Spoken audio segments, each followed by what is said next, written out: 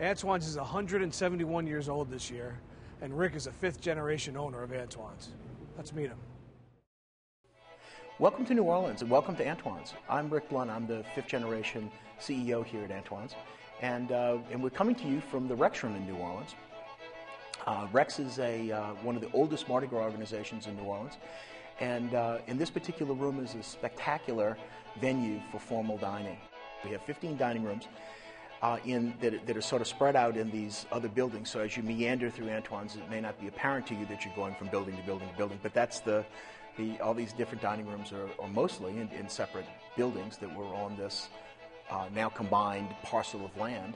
Uh, Antoine's was founded by, uh, by my great great grandfather, and his name was Antoine uh, Alciatore. We've been in this building since 1885. Antoine began the tradition in food. Jules continued that tradition and made the restaurant very large. Roy made the restaurant fine. First of all, New Orleans is a wonderful place to dine because food is such a major, major part of our culture. So dining in New Orleans is something that's, um, that's just, we do everything with food.